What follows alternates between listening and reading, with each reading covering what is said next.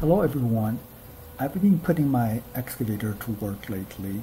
It's super important to grease it every 8 hours of operation. Since I don't have a user manual, I've been figuring out based on my observations and what I've learned from YouTube.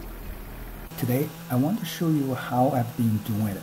Hopefully I'm getting it right and maybe it'll help anyone else with the same machine. If you spot anything I've missed, feel free to drop a comment.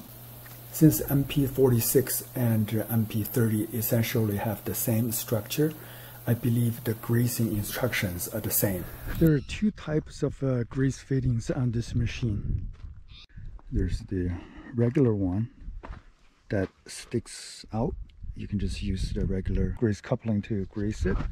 And there's the recessed one. The total, if I counted it correctly, the standard one that stick out there are like total 10 of this on this side of the machine. There are four of this. There's one two three four on this side that's what, all I can find. And on this side the standard grease fittings there's one two three four. So that's eight. That's nine.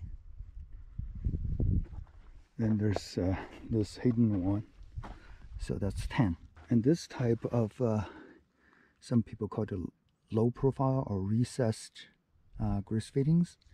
So that appears to be for each cylinder. There are two of those on each cylinder. There are a total of five cylinders. There's one cylinder two three four and five. So theoretically I should have uh, 10 recess fittings. Let's see here. One, two, that's for one cylinder. Three, four, five, six, seven, eight. Now this side, this cylinder is a nine.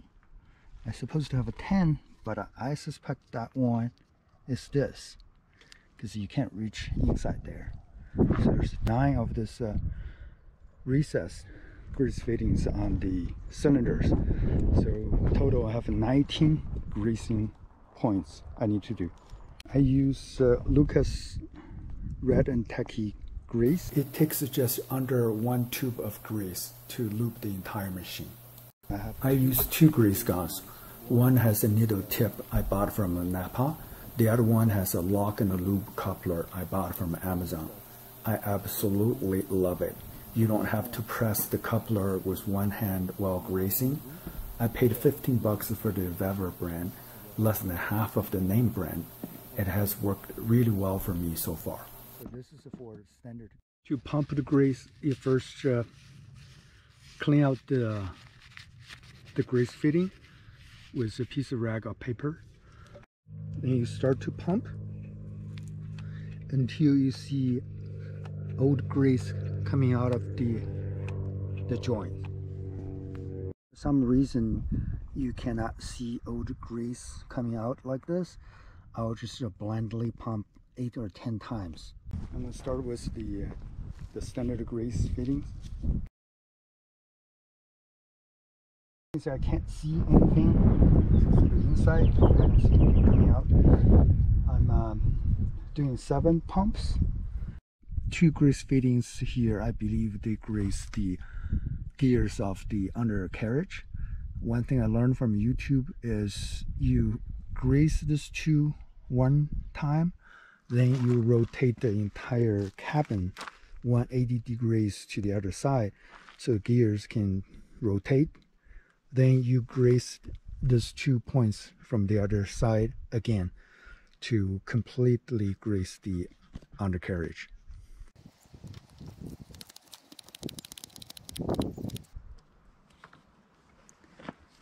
Alrighty, so that's this side, four of them.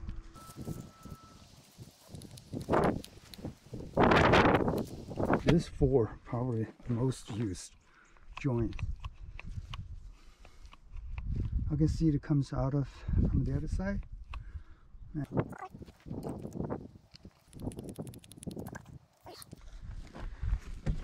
So eight, total of 10. So I have, should have two more. So also heavily used one.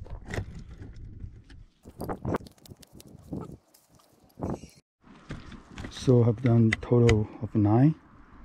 The last regular one is this one under here.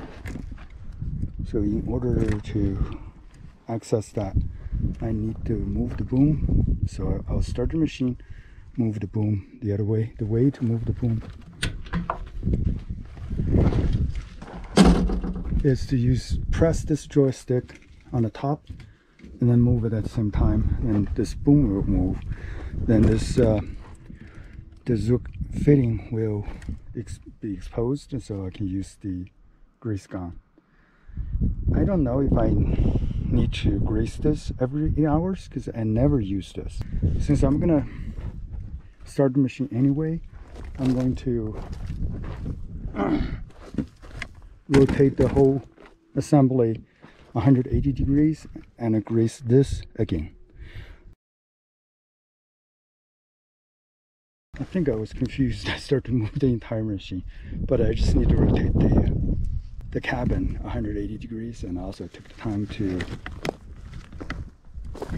to move this uh, the boom so I can see the, uh, the grease fitting here. I'm gonna grease this one and the other two on the other side. So take care of that. I'm gonna do I'm gonna re-grease this two. It's supposed to take care of the undercarriage. So I'll keep eight in this case. So that's the regular fitting. Grease all the cylinders.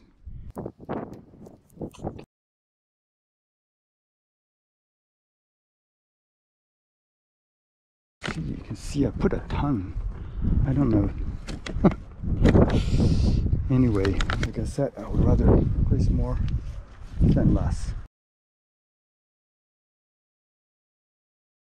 Now I've lowered uh, the bucket so I can access uh, other cylinder grease points from the top. If I count correctly, I have done four, so I have five to go.